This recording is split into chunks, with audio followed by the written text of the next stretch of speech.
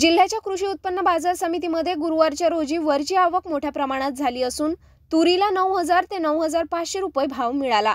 एकूण गुरुवारी शेतकऱ्यांची तूर दहा हजार क्विंटलपेक्षा जास्त आली. यावेळेस जाण्याची आवक सुद्धा तीन हजार पोते आली असून चना सुद्धा हजार पाचशे रुपये भावाने विकल्या गेला. त्याचप्रकारे बाजारपेठेमध्ये नवीन गव्हाची आवक झाली. नवीन गहू चोवीस ते पंचवीसशे प्रति क्विंटल प्रमाणे बाजार समितीमध्ये निलाम करण्यात आला. यावेळेस कृषी उत्पन्न बाजार समितीचे अडते व्यापारी श्याम मालू यांनी सिटी न्यूजला बोलताना सांगितले यावेळेस अवकाळी पावसाच्यामुळे शेतकऱ्यांच्या कृषी मालावर परिणाम झाला असून शेतकऱ्यांच्या मालाला भाव कमी मिळत आहे. यावेळेस सोयाबीन सुद्धा दोन हजार पोते आलं. सोयाबीनला चार हजार ते त्रेचाळीस रुपये भाव मिळाला. अ, कृषी उत्पन्न बाजार समिति में अभी तुअर और नया चना की अच्छी आवक है। उसके साथ में सोयाबीन, गेहूँ भी नई, नया चना और नए गेहूँ की भी आवक चालू हो गई है। तुअर आज नीचे में नौ हज़ार, ऊपर में नौ हज़ार आठ सौ रुपये बिकी है। और चना नीचे में उनसाठ सौ, ऊपर में चौंसठ सौ रुपये के भाव आए हुए हैं। गहूँ तेईस सौ से चौबीस सौ रुपये बिका।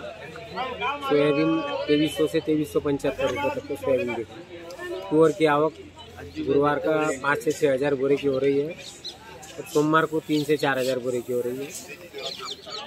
क्या लग रहा है इस बार जो मौसम का जो है वो देखते हुए मौसम का असर फ़सलों पे गिरा है कि नुकसान हुआ है कि फ़ायदा हुआ है किसानों का?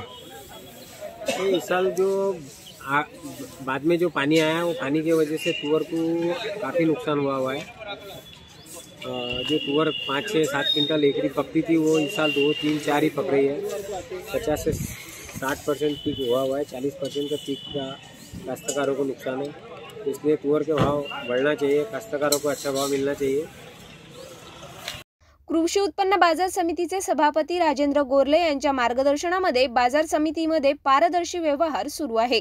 बाजार समिती जिल्ह्यातली सर्वात मोठी बाजार समिती आहे आणि येथे ये- येणाऱ्या हा जो गुरुवार आहे गुरुवार रोजी कृषी मालाची आवक मोठ्या प्रमाणात झाली असून येथे तुवर डाळ ही साडे नऊशे प साडे नऊशेपर्यंत गेली होती आणि आतापर्यंत साडे नऊ हजारपर्यंत तु- दाल गेली प्रति क्विंटलप्रमाणे आणि त्याचप्रकारे इथे जे चना आहे ते एकसष्टशे एकसष्ट सहा हजारपासून तर सहा हजार पाचशे रुपयेपर्यंत च- चण्याला भाव आला आहे त्याचप्रकारे सोयाबीनची इथे आवक झाली सोयाबीन ही बेचाळीसशे ते त्रे- त्रेचाळीसशे रुपये क्विंटल आलेलं आहे.